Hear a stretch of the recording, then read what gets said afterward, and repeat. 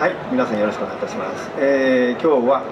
えー、GH の特徴である動画の話をしたいと思います。はいぜひ皆様楽しみにね聞いていただければと思います。それではよろしくお願いいたします、はい、えーと、このコーナーでも動画の話はおそらく私だけなのかなと思いますけども GH4、3、2とずっと一眼動画の中では歴史のあるカメラですね。でましてや今 GH4 はもう世界的に一眼レフカメラとしてよりもミラーレスというよりも動画のカメラというイメージを持っている人が多いくらい動画としては大変評判のいいカメラです。特に3から4に上がった時の画質ってのは大変良くてですねえー、皆さん知らないでしょうけど結構プロの方が使われてる。下手するとややもすると放送用のカメラより画質がいいと言われるぐらいいいです。で先ほどメーカーのことに伺うとですね同じ 4K でも次出るそこにある GH5 はさらに画質が良くなってるんだということですから大変こう魅力を感じるところでございます。で今日はですねこの中でもあのスチールと同時にですねあの政治家と同時に動画やられてる方は結構いらっしゃるとは思いますが、えー、動画の中でもちょっと工夫をするとこんなこともできるんだというお話をしたいなと。えー、動画の中でちょっと今日タイトル Vlog で撮影編集って書いてあります、えー、Vlog って聞いたことある人はいますか？おお見て結構 ご存知ですね。あのカメラの中には入ってないんですが後から取り寄せてつける格好になりますがえー、一言で言うと写真で言うとあのローと同じですね。あのかなり広範囲なあの、えー、形で、えー、映像が撮れるという格好になると思います。スタートこれで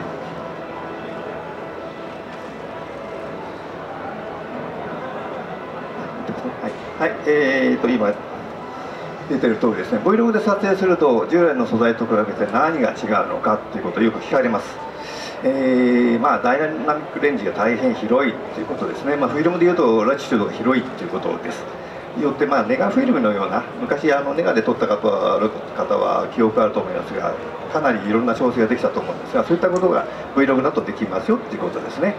それからあのよくこれで本当によく質問されるんですけど白飛びしちゃってるんですけどなんともなりませんか？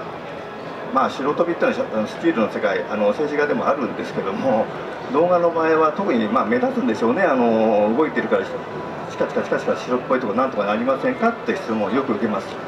これも本当になかなか難しいんですけどもあのログで撮ると編集段階で少し修正ができるかなと思います、えー、そのところをちょっと今日実際にあの編集ソフトのようなものに中に入れて実演しているところをお見せしますので、えー、どれだけ修正できるかっていうのをお見せしたいと思います。それから去年あたりが特に盛んにあの雑誌の一部に書かれてるんですけどもカラーグレーディングって言葉があるんですね、えー、これはあのお分かりかな？今の映画。あのそれからテレビドラマなんかはそうなんですけども純粋にホワイトを取って綺麗な色を出して正確な色を出すっていうのが今までの動画の撮り方だったと思いますがあえてあえてわざとその黄色っぽいとか青っぽいとか緑っぽいとか色をつけてですね作品全体にこうイメージを変えていくというのがカラーグレーディングというやつです。今はほとんどテレビのドラマとか映画はほとんどその手法を使われています、えー、3日後のアカデミー賞の中のあれは何ですかな？映画の中でもそのカラーグレーディング大変色が綺麗だという映画がアカデミーにノミネートされますけどもそのぐらい今色をつける傾向にあります、まあ、それがまた、えー、Vlog ですと容易につけやすいというところでありますのでこの2つをですねお話しいたします、えー、ではですね。はい、えー。まずですね Vlog とは何ですかって今大体ざっと言ってしまいましたけど歴史的に言いますとねこれは難しい話ですともう嫌なので私も言いたくないし詳しくわからないんですが昔のフィルムをそのデジタル化する時にあのフィルムのあの微妙なトーンまでを正確にデジタル化しようっていう形で生まれたのがログという技術です。その技術を逆にカメラの中に持ち込んだのが、まあ、今回の Vlog ですからよってデジタルカメラがですね、えデジタル一眼がフィルム並みの画質を持つとこういう意味を持ってます。それで、えー、これで撮影するとですねどういうことが起きるかっていうことなんですね、えー、はい。これからちょっと面白いちょっと実験をしたものをお見せします、えー、一番向こうこの絵ですね。これ実はあの GH4 で撮ったあのある絵を自動オートで撮ってます。こちらはわざと1.5絞りオーバーで撮ってます。かなり飛んじゃってますよ。特にここの部分見ると真っ白ですよね。でこれも同じ状態で Vlog で撮ってます。Vlog で1.5絞りオーバーなんだけど修正修正していくとここまで出る。思ったよりも切れてるでしょ。そのぐらいあの幅があるということですね。でこれをね現実的にちょっとどうやってやるかをですね、えー、実写を兼ねてあの実際の作業を見てみたいなと思います。はい。これはえー、編集されてる方はご存知だと思いますけどもいわゆるビデオの編集ソフトですね。あの各社さんいろんなものがあるんで、えー、ちょっと使い方少し違うかもしれませんけど基本的に全部同じです。ビデオソフトっていうのはね。あの向こうの左側の方にずらーっと絵が並んでますがあれ撮影した素材です。その素材のものをですね、えー、ドラッグペーストで下にこう並べていきます。この下に並べると並べた順に作品になっていくと。いうことですね。ですから下に並べることをタイムラインって言い方をしますけどそこに並べると作品になっていくわけです。で今お見せしている絵はですね先ほど写真で出てた通り標準で撮った絵です。はい、えー、今これ全体あの作業時間かかるんでキャプチャーにしてお見せしてますので、えー、ああいう絵をこう下に持ってきますね。で2番目もこう並べていきます。そして、えー、最初の一番最初の絵を見てもらいますね。いいですか？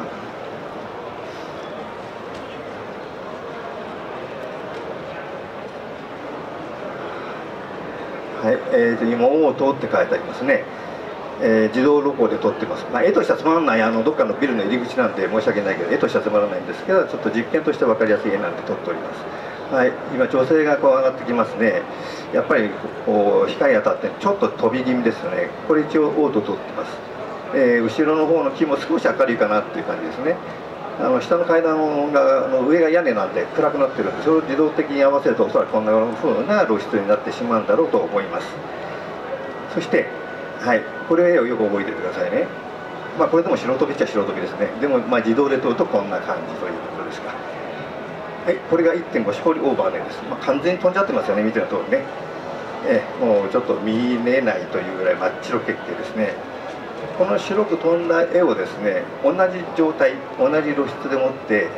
えー、ログで撮影してみます、えそれをちょっと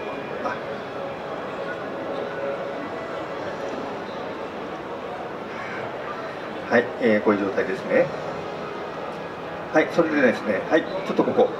ログでお取りする前にですね撮る前にこの状態をじゃあ編集ソフトで、まあ写えー、写真で言えばフォトショップのようなもので修正できないのかと。いうことで実は編集ソフトにはね大方のものなんですけどこういうこここのソフトで色補修って色補正って言ってますが補正するソフトがついてます。で今この補正するソフトをこの1.5絞りオーバーのところに今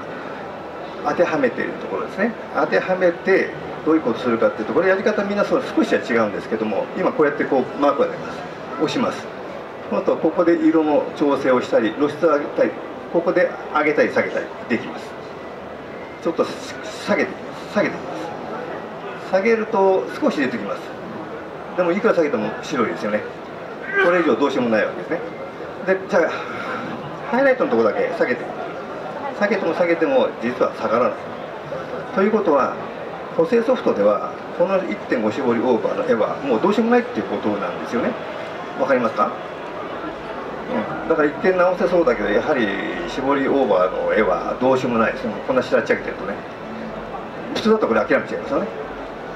そこでそこでですねちょっともうはい。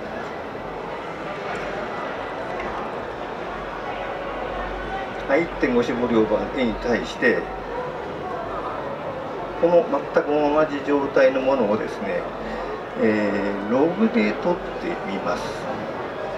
よろしいですかよく見てくださいねこの絵よく覚えておいてくださいね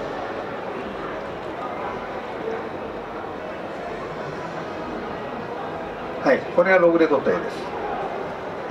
あのログの絵っていうのはですねあのびっくりするぐらい変な絵なんですよ白っぽいっていうかグレーっぽいっていうか色はついてないです。これあのファインダーの上でもこんな感じなんです。ですからちょっと撮ってる時ね違和感はあります。なんか分かりにくいな。でもこれがログで撮ったあの絵の素材です。同じ1.5絞りオーバーなんですけどじーっと見ると分かるんですけどこの辺見てください。飛んではいるはずの話が1.5ショボリオーバーで飛んでるはずなんだけどなんとなくトーンが出てるのは分かりになると。ね。これが前の1.5ショボリオーバー。でもう一回見せますね。よく見てください。はい。こちらがログの絵です。うん。それをですねじゃあ修正していってみましょうね、えー、ログにはですねこれを修正するっていうかえーまあ、難しい言葉でラットっていうんですけどここにあのこのログの配置を戻す、えー、プラグインソフトがありましてそれをあてがうと絵が戻ってきます。はい今やってみますよ。はいログの絵ですよ。もう一回よく見てくださいね。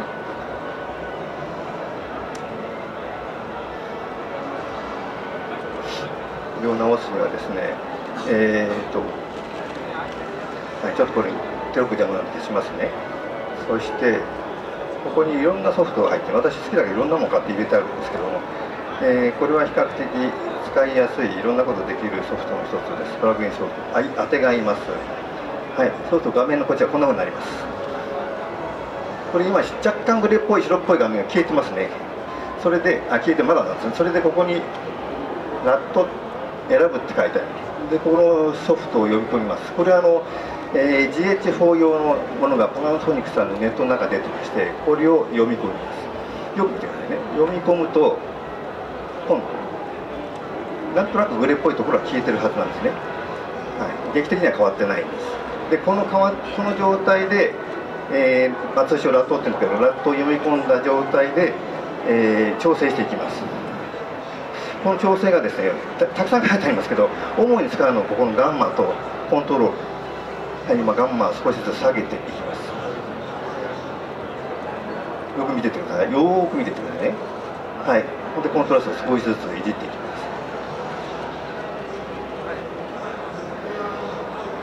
もうちょっと下がってきますね。これをね上げ下げ上げ下げ繰り返していきますこの時重要なのは左側にあの波のある絵があると思うんですけどもあれがあの波形というやつで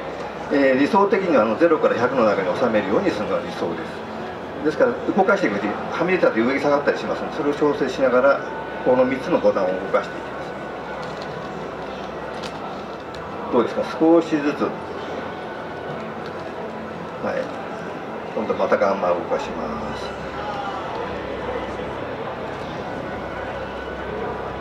はい、さっきの1.5シボリューバーのやつ比べてだいぶだいぶしっかりと出てきたんじゃないかなと思います。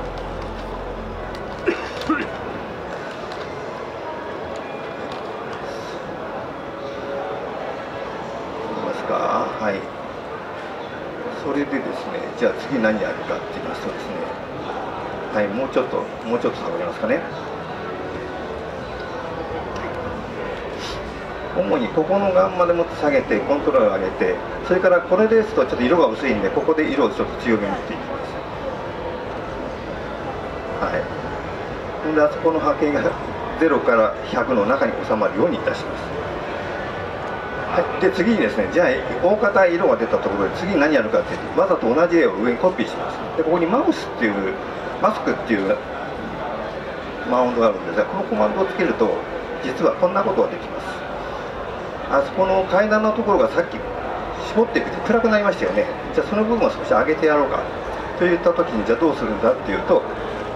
重ねてやればいいですね。ちょっとフォトショップなんかもやる方あると思うんですけど、えー、今ペンペンペンとこうちょっと、まあ、ちょっと簡単にデモなんでやってますけどこうやってやるとポコンとさっきの下の絵が出てで階段が明るいですよね。でこの階段の部分を調整してやると全体にバランス取れた絵になっていきます。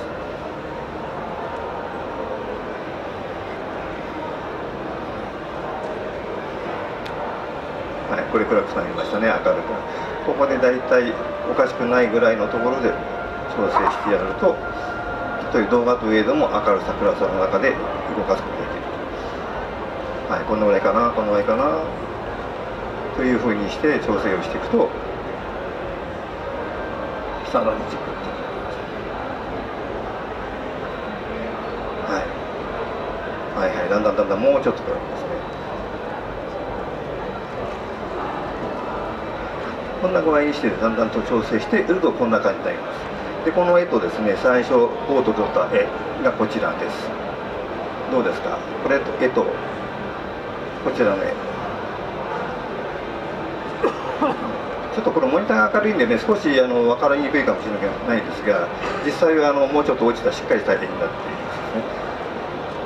ですからさっきの1.5絞りオーバーの状態でこの標準に近い状態オートで取った状態に戻しちゃってるわけですね、まあ、その場合のそのログっていうのはそのラチュード広い、えー、ダイナミックレンジが広いんだっていうことをそして修正がここまでできるってことはこれで大体お分かりいただけたと。ですからましてや普通の撮影の中でちょっと白飛びしてるなっていうぐらいのものだったらかなり容易に直せるということですね。ですからこの撮影のしやすあのしにくいあの白飛びしやすいような被写体はこれを使うとかなり修正が容易にできるかなというところをご理解いただければいいなと思います。はい次。えーと。カラーグレーディングの話をしたいと思うんですが、えー、これは先ほど色の話をいろいろしましたけどあのーおそらく気が付いてないと思いますけど映画館の映画で見る映画ってほとんど今正常な色じゃないんですね。ほとんど青っぽいとか緑っぽいとかって絵がついてます。最近のテレビのコマーシャルでもそういうところあります。よく見てないと気が付かないんですけどね。例えば典型的なのはあの映画でいう「マトリックス」って映画がありましたけど画面全体がグリーンっぽい。それからあのえーと、クリント・イーストウッドの硫黄島からの手紙なんていうのはほとんど色があるかないよかそういった色がこういったものは最近はもう映画では積極的に使われておりましてあの正常な色ではそこに演出家として色をつけていくという傾向があります。で大体今はねいろんなものついてるもんだからどういうふうになってますかっていうと大体統計的にはロマンチックな映画は暖色系の赤いトーンを使うような傾向が多いんだそうです。それからあの当然言うまでもオカルトとかホラー映画は青っぽいがねそれから、まあ、SF みたいな映画は緑っぽい色をつけるっていうのが大体今の映画の傾向なんですね。じゃあこれ色ってどうやってつけるんですかってことなんですが単純にさっきのあの色補正のところのソフトでもって赤だ青だって簡単につけられるんですけど、えー、もうちょっと複雑な付け方があります。それで一つの味を出すことができるんですね。その、えー、グレーディングのちょっと例をお見せしますね。はい。これ強度のはい千本稲荷ですね。これをちょっと見てください。色が青になったり緑になったりしてると思います。これ単純に青をのっけたり緑をのっけてるわけではないんです。低い色のところを青にしてみたり明るいところを緑にしたりとかいろんな調整をしながらつけてますこれコロコロ変わるとちょっとあれ違和感感じるかもしれませんがこういった形で作品を仕上げていくとまあ、ドラマチックなものだとかあの作品全体に違うイメージを作り出すことができるわけですね。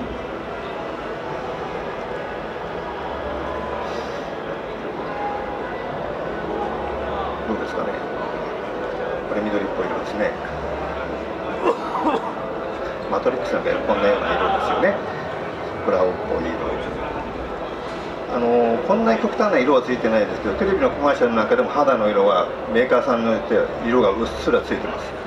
最近のドラマでいうと「えーと、相棒」という映画あテレビドラマありますけど全体に青っぽくなってますよね。それはこういった形で色をつけてます。この色が今ないような色なんていうのはちょうど硫黄島の手紙なんてあんな感じで色がつけられてますね。こういうこれもそうですね。赤だけ残ってほとんど色出てないでこれをねどうやってやるのかっていうのこれからちょっと簡単なソフトでお見せします。はい。えっ、ー、とねグレーディングソフトいっぱいあります。実はね去年かなえっ、ー、とあの Vlog の話をした段階の前後ではですね